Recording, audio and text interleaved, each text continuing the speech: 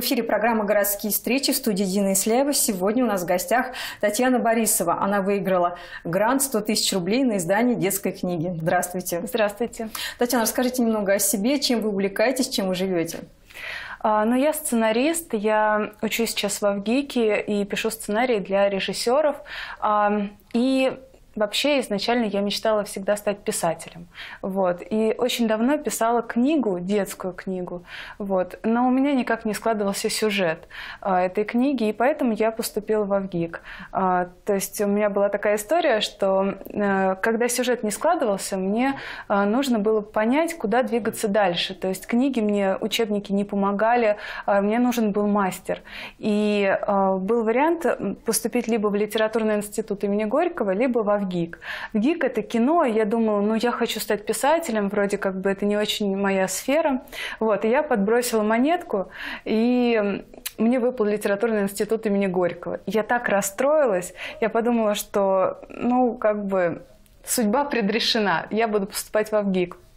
И с тех пор, вот, да, я поступила в ВГИК, там тоже был очень большой конкурс, и я попала к вообще отличному мастеру, э, она сценарист, э, написала там такие э, сериалы, как «Таежный роман», «Адмирал», э, фильмы «Охотные зюбря», «Палач», очень такие кассовые э, сериалы, и она прям очень серьезно работает с сюжетом.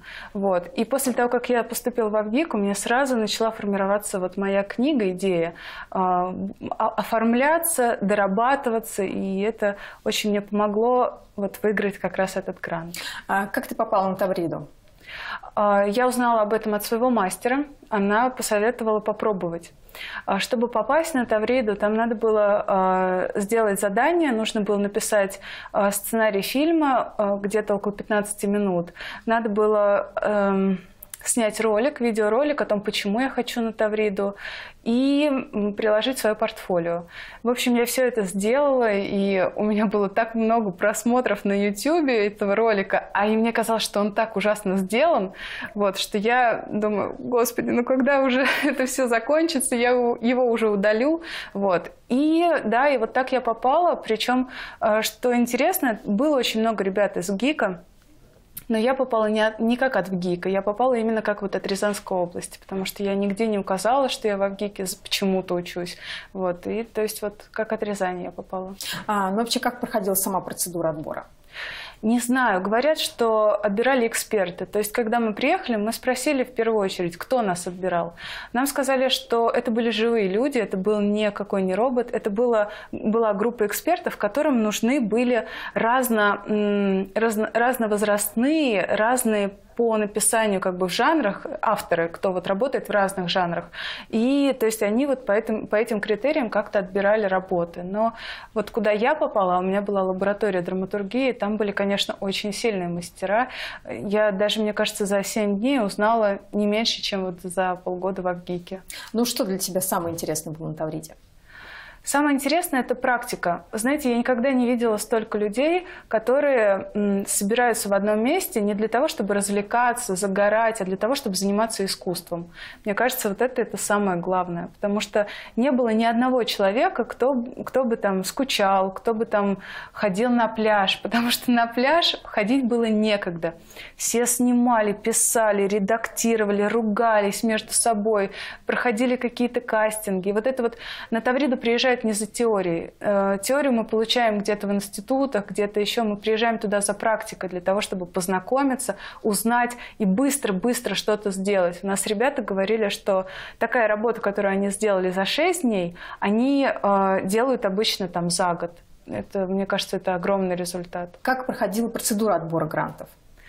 Э, процедура была очень сложный. Сначала нас собрали в первый день, там нужно было подать заявку до конца первого дня. А, я приехала уже с какими-то набросками вот этой заявки, но у меня не было четко оформленной цели. И я поняла, что для меня вот это самое главное.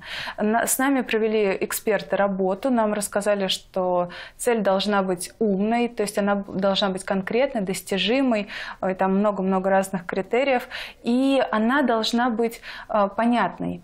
Вот. И также нам рассказали о том, как нужно заполнять по пунктам эти заявки. Естественно, там все старались как-то задать вопросы про себя, узнать, как им, что нужно сделать. Но эксперты молчали, они только, только теорию рассказали. И э, да, и потом уже нач... после того, как мы отправили заявку, а заявку вот до конца первого дня, до 12 часов нужно было отправить, и я отправила в 20 минут 12 эту заявку, то есть я уже все-все-все просмотрела, я ужасно волновалась. И на следующий день, так как у меня фамилия Борисова на Б, то есть я уже защищалась четвертой. У меня даже не было какого-то вот времени подготовиться особенно. Я готовилась всю ночь, то есть всю ночь я потратила на то, чтобы э, оформить свои мысли так, чтобы ну, конкретно рассказать за три минуты. Там нам давали всего три минуты, чтобы рассказать про проект, и две минуты, чтобы ответить на вопросы. И вопросы всегда были такие, которые, ну, которые люди не предусматривали. То есть у меня был, например, вопрос, что я буду делать с этой книгой, каким образом я буду ее продвигать. И, ну, как бы я так горю вот этой вот идеей, вот этой мечтой, что издать книгу, я, наверное, ну, сделаю все, чтобы ее издать и распространить. Вот. Ну, вот отбор был, конечно, серьезный. О чем ваша книга? Моя книга о медведях. О медведях, которые, как две капли воды, похожи на людей. Они живут в волшебном снежном лесу, а, и у них у каждого есть свое любимое дело, у них есть мечта э, и история, которой каждый готов поделиться. Это книга для детей не младшего возраста, это книга для детей среднего возраста, для тех, кто э, еще уже вырос из э, каких-то малышковых рассказов и книг, но ему еще не интересны подростковые саги, жестокие там какие-то взрослые произведения и так далее. То есть это вот тот самый период, для которого пишут все-таки мало, а, потому что, возможно, ребенок в этом возрасте, там особенно какой-то нежный возраст и так далее, и при этом хочется каких-то приключений, и не нужно перебарщивать с, со сложностью произведения. То есть вот моё, моя книга вот об этом. Такая. А почему медвежат выбрали главными героями? А, это была очень интересная история. Я ездила на Эльбрус, и там по, всему, по всей территории а, были развешаны таблички о том, что медведи там, не ходите туда-то, там живут медведи. Не ходите туда-то, там вот волки. Не кормите животных, они сами едят. Ну и какие-то такие вот таблички, на которых было все очень антропоморфно написано про животных, так, так как будто они люди. И мы подумали, что это было бы интересно встретить какого-нибудь э, медведя в одежде, в какой-нибудь э, шубе или, где или в чем-то таком. И, в общем, мы начали фантазировать с ребятами, с которыми вот я ездила, и э, так у меня появилась идея написать книгу об этом. Я подумала, что это, наверное, могло бы быть интересно. И я такого еще не читала. Сколько вы уже над ней работаете? И завершена она или нет? Или в какой стадии? Я работаю над ней очень долго. Я вот, наверное, около пяти лет ну вот так, если брать вместе с замыслом, сколько я над ней думала. А, и мне кажется, это нормальный период для того, чтобы книга созрела. Я э, не сторонник того, чтобы написать книгу за два месяца. А, сейчас книга в таком состоянии, что у меня уже все готово по сюжету, но осталось написать финал. Финал. Я знаю, э, чем все закончится. Я знаю, что я буду э, писать. Э, и об этом я честно рассказала экспертам, о том, что мне немного нужно доделать. Но так, в целом, книга оформлена, книга готова и к изданию полностью. А есть ли иллюстрации вообще, как она будет выглядеть? Иллюстрации, да, обязательно будут. Я это закладывала в смете. Я нашла на Тавриде иллюстратора, который мне поможет с иллюстрациями книги. И, в общем, да, с, с, этим, с этим все готово, проблем не будет. 100 тысяч – это достаточная сумма для издания книги? Нет, к сожалению, 100 э, тысяч – это для издания книги очень мало. А, но я все равно рада этому гранту, потому что 100 тысяч – это доказательство того, что идея э, детской книги про медведей, она достойна того, чтобы воплотиться в жизнь. Э, для меня это очень важно, потому что когда я придумываю что-то, я всегда стараюсь рассказать как можно большему числу людей. Некоторые там авторы, они боятся рассказывать идею, думают, что там кто-то украдет или еще что-то. Я наоборот, я стараюсь рассказать, потому что я вижу интерес в глазах или, или наоборот скуку. Я понимаю таким образом, а стоит ли мне над этим работать или все-таки отложить и как-то пускай это еще позреет где-то там. А где и когда будет издаваться книга? Или вы пока не знаете? А, я пока над этим вопросом думаю. У меня есть несколько вариантов.